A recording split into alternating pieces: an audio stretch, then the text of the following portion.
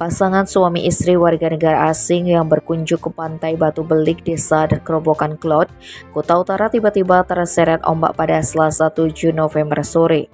Mirisnya sang suami yang berkebangsaan Cina bernama Xiao Fong Joni, 34 tahun akhirnya dinyatakan hilang. Sedangkan sang istri asal Ukraina bernama Karina Melnicho, 30 tahun berhasil selamat. Kapolsek Kuta Utara Kompol Made Pramasetya mengatakan peristiwa ini bermula ketika Pasutri itu berkunjung ke TKP bersama teman-temannya.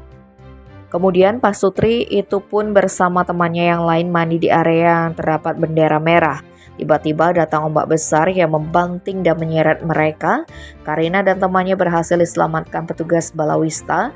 Sayangnya Xiao Fong diduga tenggelam dan menghilang. Selanjutnya Karina dilarikan ke klinik Medicare Jalan Raya Peti Tengah Kerobokan Klot agar mendapatkan perawatan. Menindaklanjuti adanya WNA yang masih hilang tersebut, Balawista Badung mengerahkan 8 personel dengan mempergunakan satu unit rubber boat ke laut untuk mencari Xiaofeng, kantor SAR dan Pasar, Ditpol Air Polda Bali, Satpol Air Polres Badung, piket fungsi UKL Polsek Kuta Utara dan BPBJ Badung juga mengerahkan personel menuju ke lokasi.